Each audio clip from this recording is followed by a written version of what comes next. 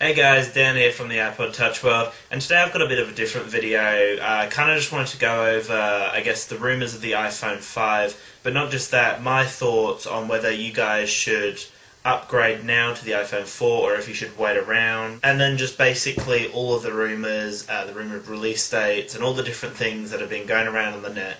So firstly, we've had a few different rumours for the release date. Uh, we've got June we've got August, and then I think we've got October or November. These are the few rumoured release dates. Uh, we've got iOS 5 coming out in the fall, so we could have the iOS 5 and the new device released roughly at the same time, which sounds plausible. It's what normally happens, and it's highly likely that that will happen this year as well. All these rumours going around about if it's going to be a 4S or if it's going to be an iPhone 5 and if it's going to be a 4S, it could just be, I guess, a um, faster version of the iPhone, and then they could bring out this masterful iPhone 5, um, which is pretty similar to what they did with the 3GS, apart from the iPhone 4 was a bit of a flop at first because it had those issues.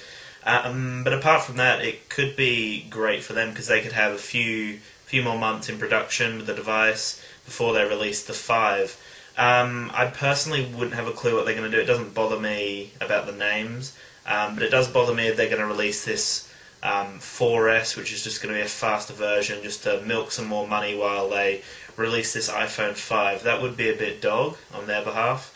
Um, I would like to just see an iPhone 5 come out with this iOS 5 because the iOS 5 is looking amazing. It looks like they've put their heart and soul into this one finally. They've got an um, software update that's actually drastically going to improve the operating system, and that will be great to see. Um, coinciding with a new iPhone 5, which hopefully has all of these beautiful features, um, and they could work perfectly together, and it could be a solid, solid device. Um, I don't personally know what's going to happen. None of us are going to know until it gets closer to the date. Uh, this is my iPhone 3GS at the moment. As you can hopefully see, I have lost my power button and my volume rocker right there. And also my home button is very temperamental and it's really annoying to try and end all those bloody multitasking apps down the bottom by double tapping because my home button is not working. So I'm definitely looking for an upgraded device. My plan's running out soon and um, I was personally thinking about just getting the iPhone 4 straight away.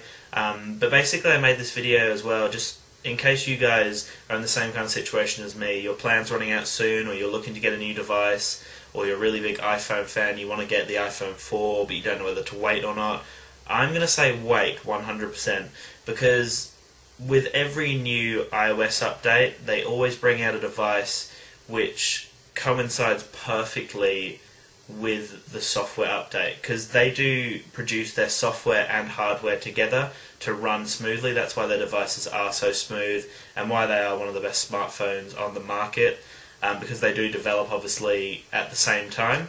So I would say personally wait. I'm going to wait. Um, it's hopefully only going to be a few more months. I'm not thinking the June release date's going to come out now because it is a little late in June. We've only got like a week left. Pretty certain it's going to be a couple more months now.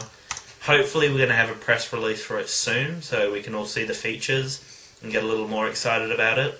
But for now, that's all we know. Um, let me know what you think in the comments below if you like this video. I'd love a thumbs up, it really does help. And also make sure to subscribe if you haven't already. I will have an overview of the iPhone 5 and the iOS 5 and have video reviews on them and whatnot.